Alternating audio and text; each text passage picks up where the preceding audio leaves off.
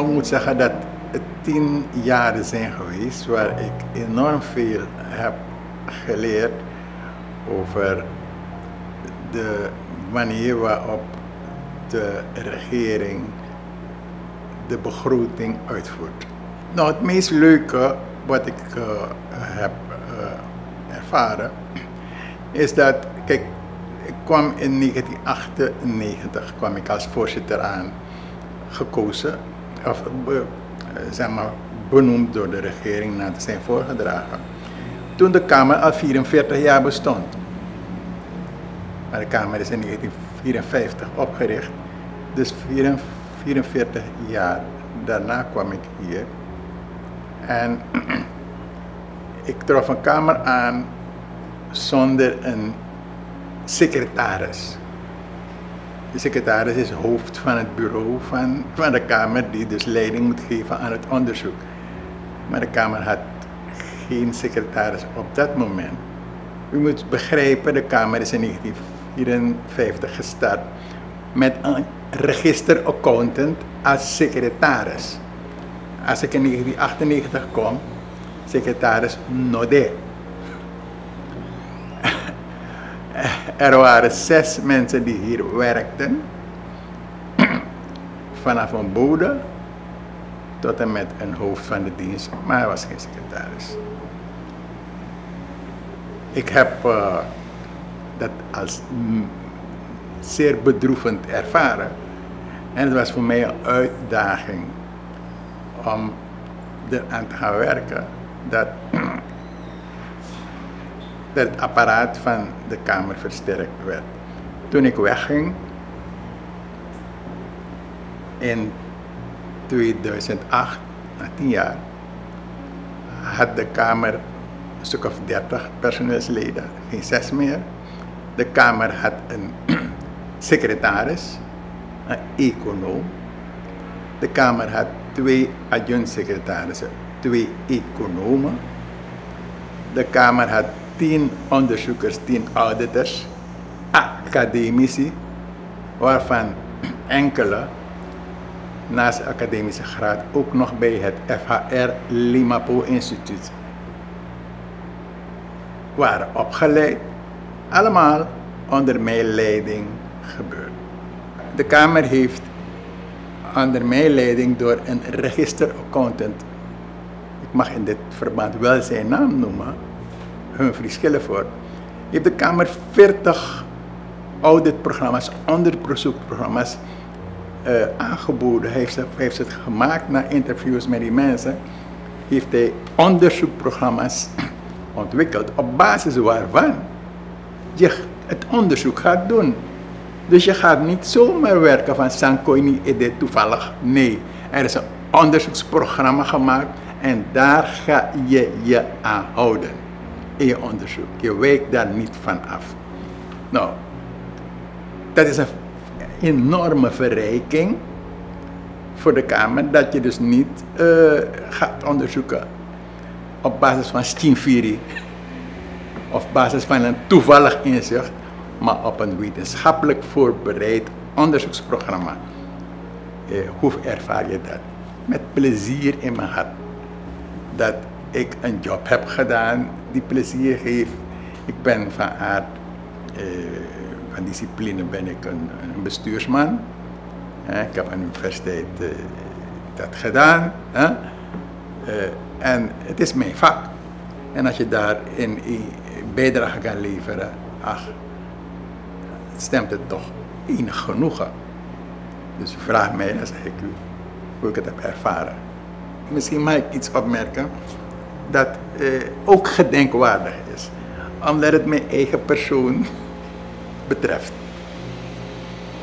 Ik was, op, ik was in de periode 85, 87, was ik DNA-voorzitter.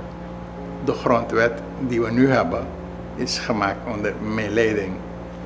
En op een gegeven moment zat ik met ingenieur Frank Plever, een zeer, in mijn ogen de meest bekwame DNA-lid die deze natie ooit heeft voortgebracht. Ik ken geen bekwamere dan Frank. En ik zat met Frank te praten over die grondwet die in voorbereiding was. En hij zei tegen mij, voorzitter, weet je wat? Ik kijk naar bepaalde instituten zoals de Rekenkamer en de Raad van Advies, nou heet het Staatsraad, dat de leden daarvoor leven worden benoemd. Hij zei, voorzitter, alles heeft plussen en minnen, voor- en nadelen. Maar mensen voor het leven benoemen in een positie, ja, heeft wel wat, uh, wat problemen. Dat je dus op een gegeven moment bedrijfsblind kan gaan worden enzovoort. Dus zullen wij niet in die constitutie opnemen dat ze voor vijf jaar worden benoemd? Ik zei, jongen, ga moro, moro bidden, hè? En al dus is geschied. Dus zo is in die grondwet vastgelegd dat de leden van de Kamer voor vijf jaar worden benoemd. Het was eerst vroeger voor levenslang. En de reden van raadadvies was ook voor levenslang. Laat het nu zo zijn dat ik word gevraagd of ik lid wil worden van de rekenkamer. En ik zeg ja. En wat gebeurt er dan? Ik, die met Frank even zei, ja, cool, laten we dat doen. Ik word nog getroffen door die vijfjarige termijn. En dat gebeurde in 1998, werd ik dan voorgedragen voor vijf jaar. En in 2003 eh, kwam op Otmar Rogers, die mij uitnodigde, uh, voorzitter, je termijn is dadelijk afgelopen. En je bent voorgedragen door de coalitie, die, er nou, die geen coalitie nou meer is. Die is nou oppositie. Maar wij hebben gekeken naar jou. En je werk, ja, daar kunnen we mee leven. Wat voel je, voel je ervoor om tweede termijn te gaan? Ik zei, ja, oké. En zo heeft nu frontregering mij voorgedragen voor de termijn 2003-2008 de NDP-coalitie heeft mij toen voorgedragen en benoemd in 1998. En een opponent voor NDP heeft mij benoemd. Dus het is, is iets wat mij is overkomen in mijn persoonlijk leven. Weet je, dat ik dus, als ik ernaar kijk, dan lach ik. Hè. Ik zeg, voor alibi kawaka. Maar wat er is aan je leider ook eruit. De jaar in politiek sap tu. En abong dat zomaar niks maar kan lopen you. You awali bis maar dat het wali je liep normaal. Begrijpt u? Is gewoon gedenkwaardig, maar tegelijkertijd ook een les. Het gebouw waar we nu in zitten is in mijn periode gerestaureerd. Nu ziet het van buiten niet zo geweldig meer uit, maar van binnen is het nog prima. Ik ben blij dat het in die periode gebeurd is. Ik ben blij dat het personeel in die periode uh, opgekrikt is, uitgebreid is. Uh, dat wij dus wetenschappelijk gevormd, personeel hebben. Dat er een opleidingstraditie hier uh, wordt, wordt voortgezet. Ik ben blij dat die auditprogramma's er zijn. Ik ben blij dat de, de Rekenkamer zich ook internationaal is gaan oriënteren. ja, uh, wat ik hoop, de Kamer viert straks uh, eh, 3 mei haar 70-jarig bestaan. Dat de Kamer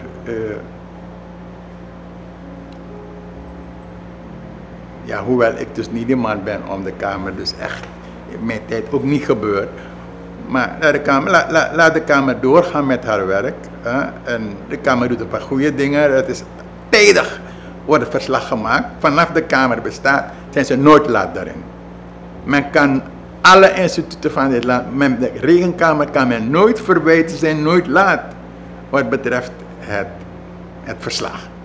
Het is een heel mooi ding dat ik dus, uh, waar ik mij complimenten over blijf uitspreken. Ga zo door, Kamer. En ga door met uh, die, oude, die onderzoekprogramma's Doe onderzoek niet broeia broeia.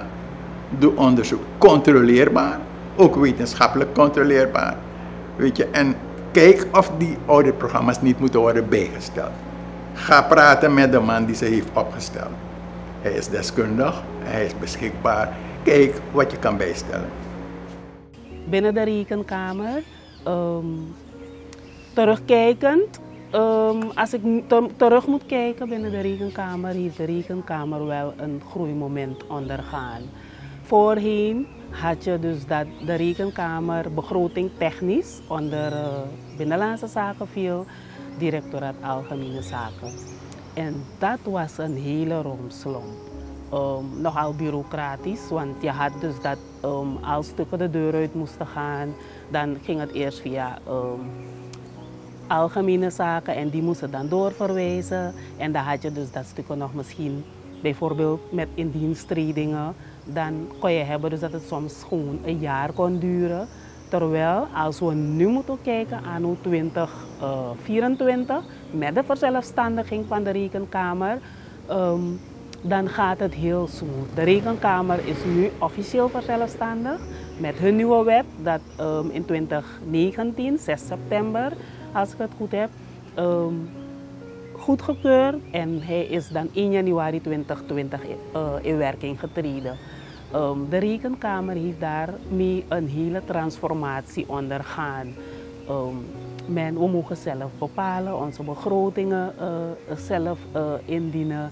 En um, als ik uh, daaraan sluitend moet aangeven, dus dat dat ook mee helpt met die motivatie. Toch? Die motivatie om dan door te blijven. Want als ik terug moet kijken, um, naar het begintraject toen ik in dienst trad. Althans, was, ben overgeplaatst naar de rekenkamer. Dan was het echt een tweegangen. Als je bevorderd wilde worden, als ik dat als voorbeeld mag aangeven, dan was het slechts van ondersteunend. Ondersteunend zijn meer HRM, uh, DIF, salarisadministratie, financiële administratie. Uh, die behoren tot ondersteunen. En wilde je promotie maken binnen die rekenkamer, dan um, zou je slechts auditor kunnen worden. Maar nu, anno 2024, zijn er meer mogelijkheden. Toch? Waar, waarbij je uh, meer opties hebt om te kunnen groeien. Um, vanuit mijn zijde heb ik toen aangegeven van nee, dan moet ik aan mezelf gaan werken en um, een verdere studie doen om dan te kunnen groeien. En die mogelijkheid is er nu om te kunnen groeien binnen die rekenkamer. En dat houdt dan ook die motivatie intact. Want er zijn meer mogelijkheden om te kunnen groeien binnen die organisatie. Terugkijkend op um, voorheen en nu heeft dat me gemotiveerd. En ook met mijn studie die ik nu doe, um, heeft um, pas precies binnen die organisatie om gemotiveerd te blijven, om te blijven werken binnen die organisatie. En de mogelijkheden die men creëert voor het personeel om ze toch te behouden binnen die organisatie. Uh, de samenwerking met de ministeries uh, bestaat meer uit uh, informatiewisseling en de controles op de ministeries, waarbij we naar de ministeries toe gaan om de onderzoeken te verrichten. Er wordt gerapporteerd over het onderzoek en naar aanleiding van de bevindingen die uit het onderzoek voortvloeien, doen we ook dan aanbevelingen aan de ministeries. onlangs zijn we ook begonnen met onze stakeholders engagement strategie, waarbij we naar de minister en de directie van de departementen toe zijn gegaan voor een nadere kennismaking. Dus op hoger niveau. Voor een betere samenwerking, want de informatie krijgen we natuurlijk van de desbetreffende verantwoordelijke functionarissen. Maar om een betere samenwerking uh, te hebben, vonden we het nodig om toch nader kennis te maken met de diverse ministers en hun directieleden. De Rekenkamer is een klein uh, organisatie, maar heel dynamisch. We hebben in de afgelopen 25 jaar een hele ontwikkeling meegemaakt, waarbij we waren gestart met gewoon onderzoek. Oh ja, voortgezet kan je zeggen. onderzoek uh, gewoon op basis van de ontvangen besluiten die we kregen van de verschillende ministeries naar een uh, rechtmatigheidsonderzoek op internationaal niveau, waarbij uh, op basis van internationale standaarden, waarbij we naar de ministeries toe gaan en veldonderzoek uitvoeren, dossierscontrole doen, een uh, walkthrough test uitvoeren om onze bevindingen daaruit vast te leggen en op basis daarvan de bevindingen aan de ministeries. Ik ben um, al zo 12 jaar in, in vaste dienst. Um, daarvoor uh, werkte ik uh, zo op contractbasis op afroep.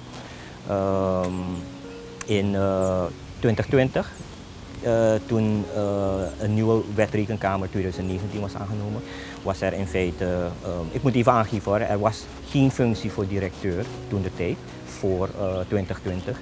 Bij de aanname van de nieuwe wet werd er um, een, aangegeven dat er, een nieuwe, dat er een directie aanwezig moet zijn bij de Rekenkamer. En daar werd ik in 2020 aangesteld. Dus ik ben nu om en bij, als, eigenlijk als waarnemer, maar ik ben nu in feite al zo'n vier jaar directeur in die functie. Um, ja, dus als directeur, ik moet wel zeggen, um, het is vrij uitdagend. Het is een vrij uitdagende uh, functie. Het is uh, mij toen de tijd gevraagd. ik heb het dan uh, ja, overweegd. het is een, een, een, mooie uitdaging om te doen.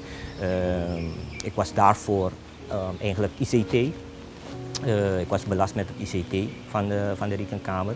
Dus uh, ik heb uiteraard economie gestudeerd, ik heb ICT gestudeerd. Dus het was een mooi moment om deze zaken uh, bij elkaar te combineren. dus dat heb ik dan aanvaard.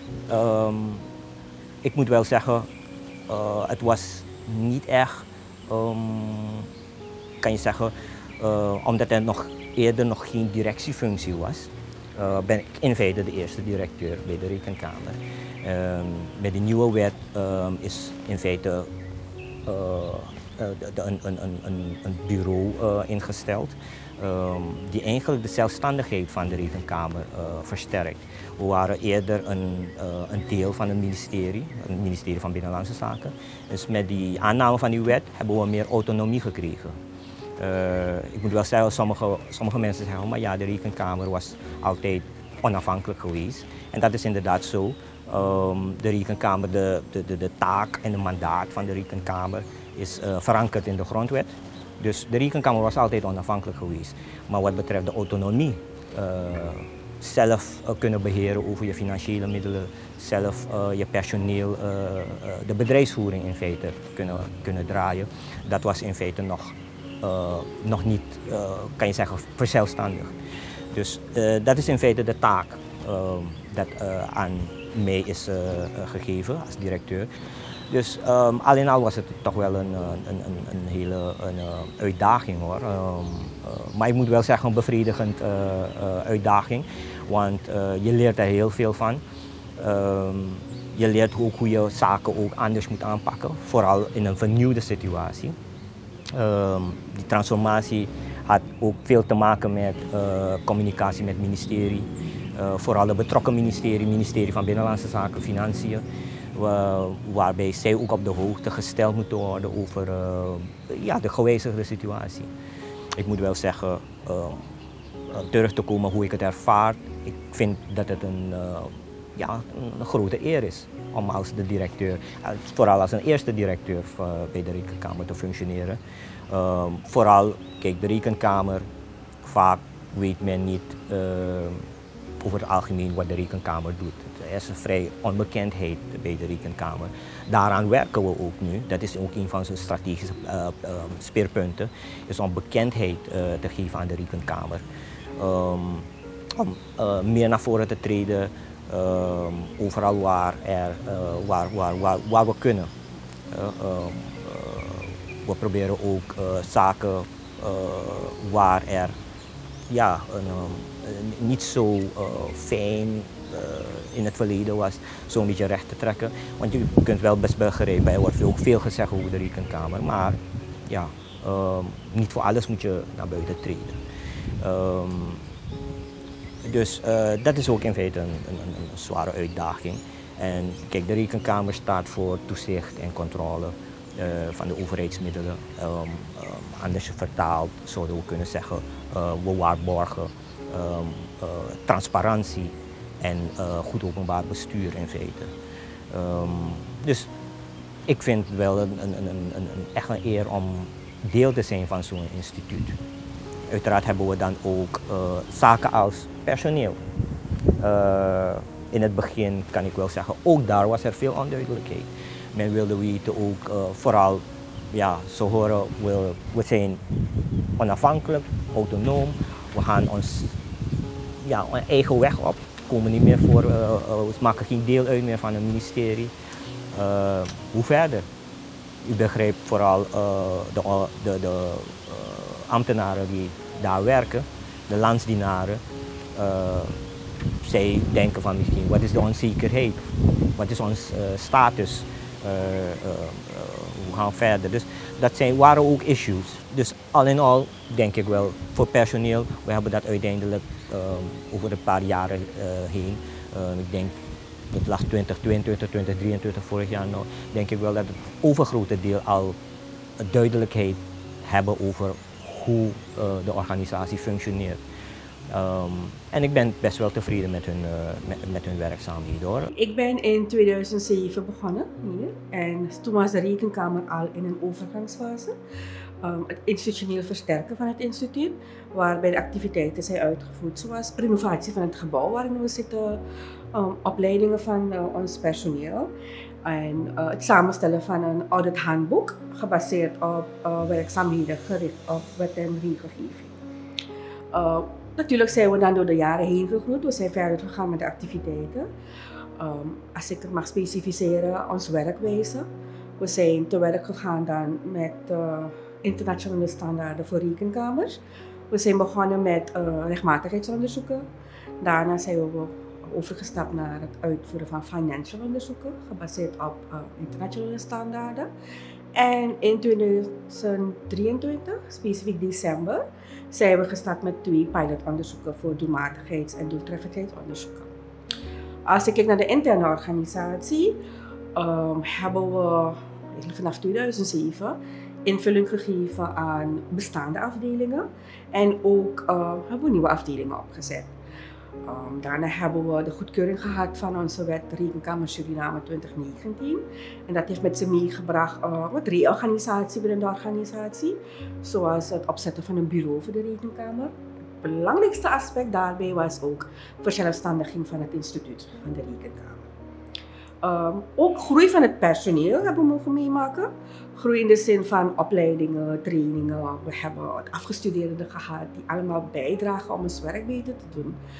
Um, en ook samenwerking. Dat was een heel bijzonder aspect, want um, we hebben te dealen met heel veel stakeholders. We zijn dat gaan identificeren, um, zoals met DNA, ministerie van Financiën, onze internationale stakeholders, zoals onze moederorganisatie Intosai, Karosai, de donoren en ook uh, samenwerking op het gebied uh, met andere rekenkamers qua ons werk. We hebben goede samenwerking gehad met het National um, Audit Office van Guyana en sinds kort met de Algemene Rekenkamer Nederland. Uh, dat zijn de, eigenlijk de drie grote aspecten waarin ik groei heb mogen meemaken binnen de organisatie. Ik ben al 17 jaar bijna hier werkzaam en ik heb natuurlijk veel mijlpalen mogen meemaken. Zoals de benoeming of beëdiging van onze eerste vrouwelijke voorzitter van de Rekenkamer, mevrouw Sherman Velter um, verzelfstandiging van het instituut. Maar een van de specifieke mijlpalen die mij zijn bijgebleven, of die mij is bijgebleven, um, is het voorzitterschap van Karosai. Die door mevrouw Velter is uh, vervuld van 2016 tot en met 2019. Um, Karosai is ons is een regionale organisatie waarbij de rekenkamers van het Caribisch gebied lid van zijn. En zo'n instituut of carrousel wordt voor drie jaar voorgezeten door één van de voorzitters van de lidlanden. Um, in 2016 hebben we het congres van carrousel gehad in Suriname, waarbij dan de lidlanden bij elkaar komen om te praten over specifieke aspecten die een goedkeuring krijgen. En um, het was een heel groot evenement voor ons als Jong Rekenkamer ook. En toen is mevrouw Velter voor drie jaar benoemd tot voorzitter van Carousel. Dat was voor ons een heel groot moment. Mijn ervaring met de vorige voorzitters, en dat zijn er dus nu al drie geweest, vanwege het feit dat ik al 25 jaar in dienst ben bij de Rekenkamer, um, heb ik dus onder drie voorzitters gewerkt tot nu toe. De eerste is dus de heer Ulrich Aron geweest. Bij hem ben ik in dienst getreden bij de Rekenkamer op 1 februari 1999. En mijn functie was toen adjunct secretaris, dus ik kwam gelijk in het management terecht. En uh, mijn ervaring in die periode is dat de Rekenkamer um, ja, een transformatie eigenlijk uh, heeft doorgemaakt. Waarom zeg ik dat? Um, we hadden net de vorige voorzitter gehad. dat was onze um, welbekende Weilen Hans Prade.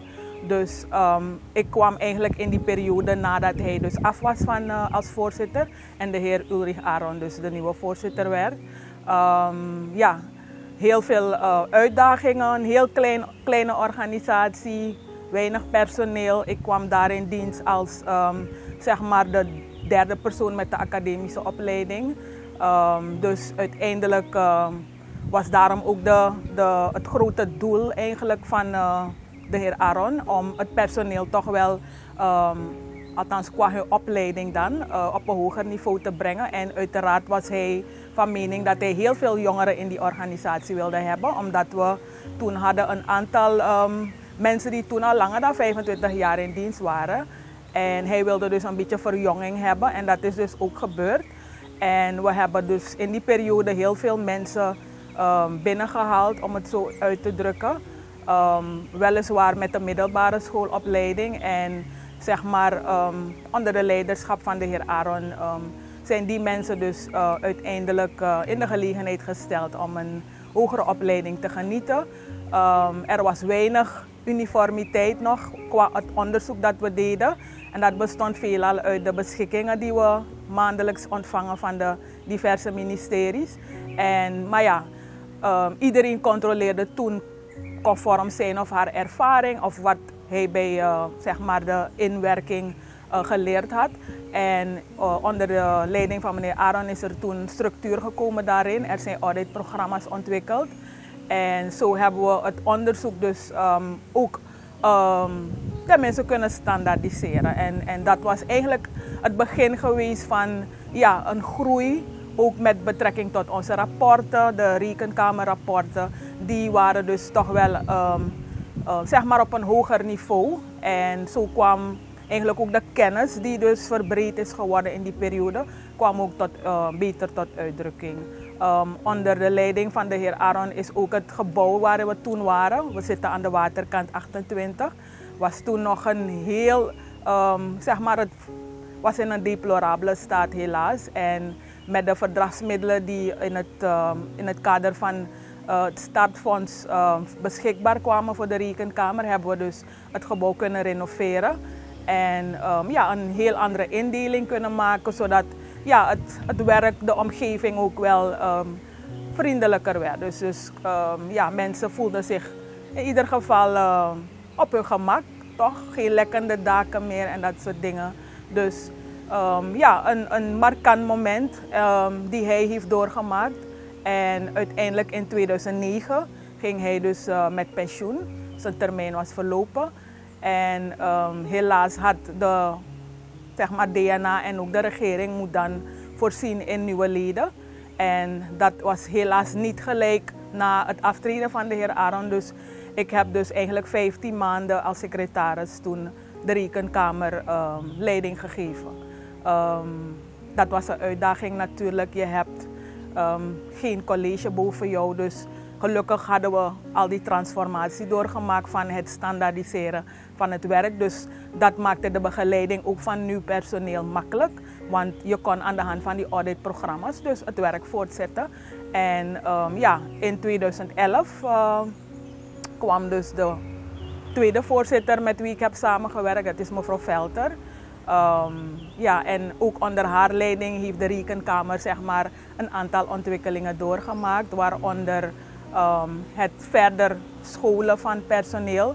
Onder haar leiding hebben we eigenlijk ook meer die internationale contacten weer aangehaald. De Rekenkamer is dus ehm, lid van CAROSAI, dat is een regionale organisatie van rekenkamers binnen het Caribisch gebied.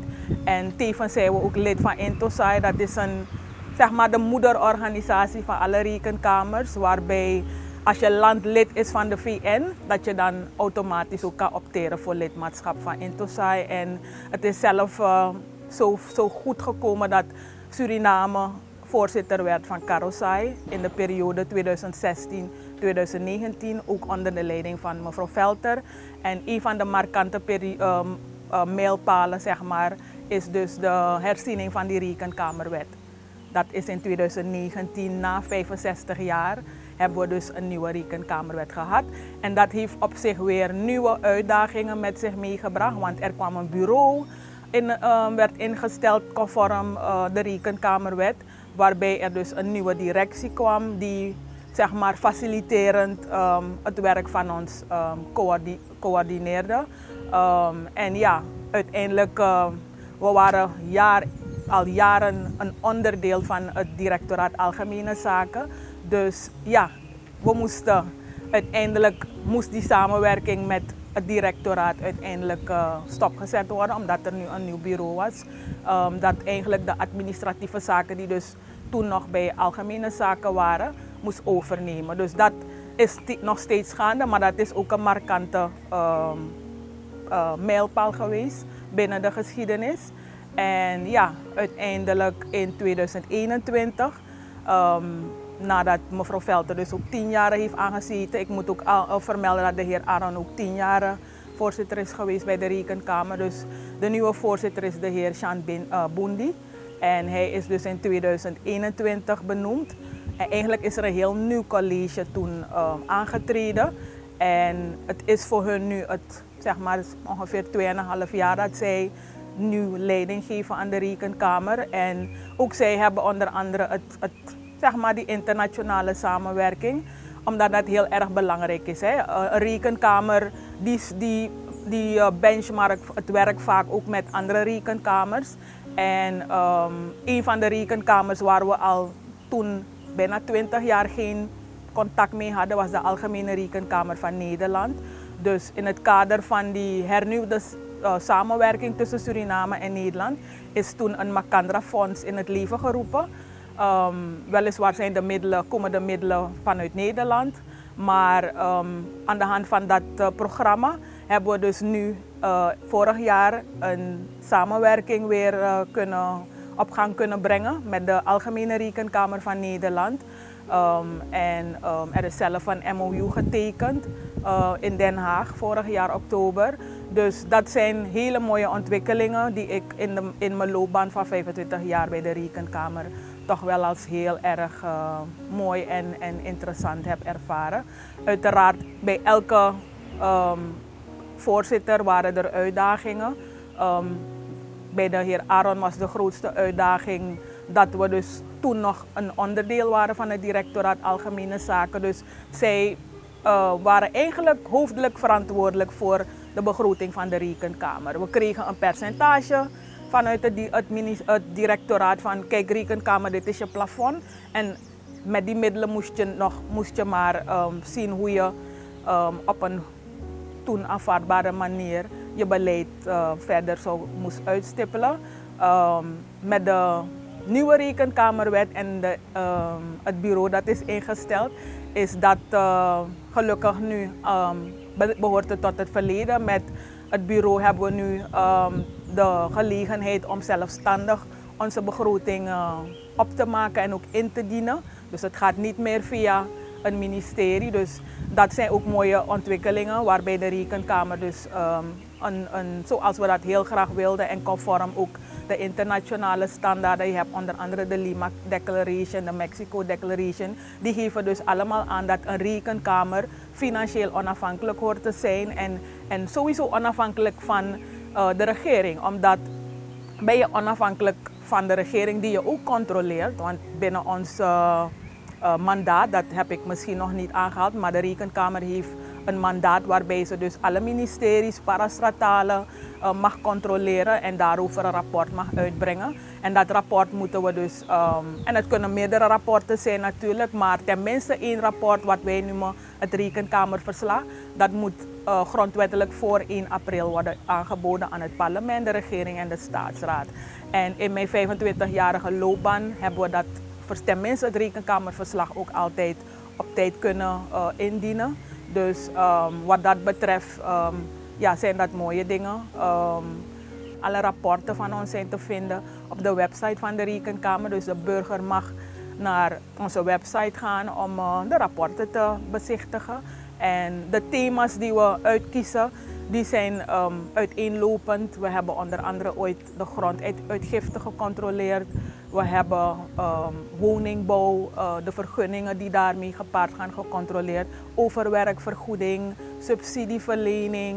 En jaarlijks moeten we ook de begrotingsrekening, dat is dus um, elke begroting heeft een begin en een einde. Dus de begrotingsrekening is dus het sluitstuk van de begroting. En dat controleert de rekenkamer ook. Dus al dat soort rapporten zijn dus uh, op onze website te vinden. De rekenkamer heeft um, verbetering nodig qua haar uh, bekendheid en haar imago in de samenleving. Het is namelijk zo dat um, anno 2024 nog te weinig Surinamers weten wat de rekenkamer is, wat de rekenkamer doet. En um, ook is het zo dat het algemeen beeld dat men heeft van de rekenkamer um, nog, niet, nog, niet is wat het wezen moet. Um, de rekenkamer moet dus ervoor zorg dragen dat qua dat de bekendheid en het imago van de rekenkamer worden geupgrade. Verder is het zo dat het auditors corps van de rekenkamer um, een flinke uitbreiding nodig heeft. Het auditors corps doet um, voor de kernactiviteit uit van de rekenkamer, dat is controle. Vooralsnog um, heeft de rekenkamer niet de mogelijkheid om um, eigen um, financiële middelen te genereren. En ze is dus voor wat het bewerkstelligen van de verbeteringen, de benodigde verbeteringen, in hoge mate afhankelijk van de overheid. De overheid doet haar best om de rekenkamer te faciliteren, maar het kan natuurlijk beter. En um, op internationaal niveau zal men dan ook met een um, andere bril kijken naar Suriname als we een sterke rekenkamer hebben. De functie die ik nu bekleed van auditor, uh, vroeger werd het heel anders gedaan. We werden auditwerkzaamheden werd verricht door middel van een programma, een auditprogramma. En dat is dus een vragenlijst. Maar tegenwoordig gaan we zelfs in het veld. We bezoeken de ministeries zelf, we doen ons onderzoek, we stellen rapportages vast en deze rapportages komen dan gezamenlijk voor in ons rekenkamerverslag. En um, ook een van onze veranderingen is onze onafhankelijkheid. We waren, Rekenkamer is een van de hoogste colleges van staat. En um, we hebben altijd getracht onafhankelijk te zijn om onze eigen dingen te kunnen doen, om ons doelen te kunnen realiseren, zelfstandig. En het is ons drie jaartjes terug gelukt. En we zijn zover waardoor we nu onze eigen, zeg maar, alles dus zelf kunnen aanpakken, waardoor het, proces ook versneld wordt. Er zijn een heleboel momenten. Dagelijks maak je die mee. Maar om eentje van way back was toen uh, de eerste voorzitter die ik heb meegemaakt, meneer Aaron. In zijn tijd, s morgens als je aan het werk kwam bijvoorbeeld, half zeven, wanneer je de deur binnenliep, um, raakte je geconfronteerd met hem. Dus hij, stond of hij zat te wachten om te kijken van wie hoe laat naar binnen komt. Maar het was een soort van disciplinaire maatregel. En hij wees ook van, ik als leidinggevende, als ik het kan, kunnen jullie het ook als medewerkers. Dus we waren dus niet bang of zo, maar het was echt even lachwekkend van, hey, een verrassing. Dat is een van ze. Tweede is onze independence. Dat was vanaf het begin dat ik daar ben, heb ik altijd gehoord van we moeten onafhankelijk worden, we willen onze eigen zaken regelen. Want we waren afhankelijk van ALSA. Zolang we een bestelbon wilden invoeren, moesten we rennen al is het twee uur, drie uur op de vrijdag, een dienstreis in orde maken, moesten we naar Alsa rennen. Maar nu kunnen we gewoon vanuit kantoor, dus onze onafhankelijkheid doet ons goed. En ehm, vroeger had je ook um, studiemogelijkheden, zolang je in dienst kwam. Ik bijvoorbeeld, ik, kwam, uh, ik was pas geslaagd van het HAVO en ik zou dus gaan schakelen. Ik dacht, ik ga werk combineren met school. Dus ik zou gaan schakelen en toen werd ik gevraagd van wil je geen in Holland of FAR? Het was toen in Holland. Toen ik zei van oké, graag, waarom niet? En het wordt ook voor je bekosten. Dus zodoende heb ik het zo gezegd, zo gedaan.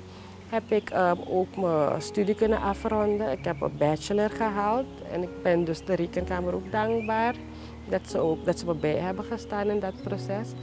Ja, dus dat is het zo een beetje. Binnen enkele maanden na mijn indiensttreding in 2016 mocht ik zitting nemen in de commissie toen de Rekenkamer voorzitter werd van de Karusai. Karusai is de organisatie voor rekenkamers in het Caribisch gebied. Verder, in datzelfde jaar, had ik de eer China, de Rekenkamer, maar bovenal Suriname te vertegenwoordigen op de eerste internationale master in audit voor rekenkamers ter wereld. Naast Suriname had je medewerkers of vertegenwoordigers van 35 andere landen, waar ik met trots mag zeggen dat ik in 2018 succesvol afstudeerde. Een andere prestatie waar ik bijzonder trots op ben, is dat ik in 2019 China wederom mocht aandoen in Karosai-verband voor een seminar. Daar tevens door de National Audit Office van China en um, de universiteit, Nanjing Audit Universiteit, um, mocht ik een decoratie in ontvangst nemen als Professional and Cultural Ambassador Bridging Suriname in China. Verder mijn participatie bij de totstandkoming van de Wet Rekenkamer Suriname 2019 onder voorzitterschap van Velter. Verder niet te vergeten de gezamenlijke audit op internationaal niveau, waar ik de teamleider van was. En as we speak, een samenwerking met de Algemene Rekenkamer Nederland bij de uitvoering van ons doelmatig en doeltreffendheidsonderzoek. Een traject waar mijn collega-auditors en ik aan mogen participeren. Heb liefde voor dit werk. Volg het nationaal en internationaal audit gebeuren. Ontwikkel jezelf in de materie. Kijk niet per se naar wat de rekenkamer kan betekenen voor jou, maar wat jij kan betekenen voor de rekenkamer. Niet alleen, maar bovenal wat je bijdrage kan betekenen bij de uitvoering van dit werk voor ons geliefd Suriname. Een van mijn leuke momenten is um, toen ik mijn eet moest afleggen. En zoals ik daarnet zei, toen ik daar was, ik had nooit gedacht dat ik bij de rekenkamer zou zijn op de afdeling internationale betrekkingen, aangezien ik IB als achtergrond heb. Vorig jaar oktober heb ik de mogelijkheid gehad om te beginnen met mijn masterstudie. En ik kan nog heugen toen ik mijn eerste tentamen moest afnemen, zat ik in de klas en ik, ik, ik wilde eventjes huilen, want ik dacht van, ik zag dit nooit aankomen. Dat ik vandaag de dag een, binnen de rekenkamer werkzaam ben en ook de mogelijkheid heb gehad, de ondersteuning heb gehad om mijn masterstudie te doen. En dit is voor mij een heel um, een zegen. Voor mij als voorzitter, ik, ik ben eigenlijk de negende voorzitter um, van de Rekenkamer van Suriname. Dus er zijn uh, zeker acht voorzitters al voor geweest. Voor mij eigenlijk is het uh, zojuist eigenlijk een last, op, ik zal niet zeggen last, maar een verzwaring op de schouders, omdat ik eigenlijk een legacy van mijn voorgangers eigenlijk naar voren moet brengen en ook moet voortzetten. Natuurlijk daar waar nodig um, zal ik ook mijn uh, inzet hebben. Maar het gaat erom van dat 70 jaar is geen 7 jaar. Het, is een, uh, het zijn jaren vol ervaring, vol dieptepunten, vol hoogtepunten. En dat alles maakt dat eigenlijk ons instituut zo uniek is. Eigenlijk, de rekenkamer is de externe controleur van de staat. Eigenlijk dienstbaar aan de burger. Dus dat maakt het ook zo uniek om te zeggen van ik ben de voorzitter nu op dit moment. Uh, waarbij wij 70 jaar uh, straks zijn. Dus um, het is toch wel een uh, hele verzwaring, maar ook tevens een goede uitdaging om te zeggen van kijk 70 is het nu Ik wil het naar nog eens 70 brengen of zelfs meer. Dus ehm, ik wil alles daaraan doen. En ik weet dat ik het niet alleen doe. Ik heb een uh, goed team achter me aan, een goed managementteam, goede collega's, maar ook goede collegeleden. En de ondersteuning van uh, taal van stakeholders met wie we werken. En niet te vergeten ook samenwerkende rekenkamers, collega-rekenkamers. Dus al met al is het 70 jaar geschiedenis geweest, maar ik ga ervoor om nog meer geschiedenis te schrijven. Gefeliciteerd Rekenkamer! Gefeliciteerd Rekenkamer! Gefeliciteerd Rekenkamer, 70 jaar!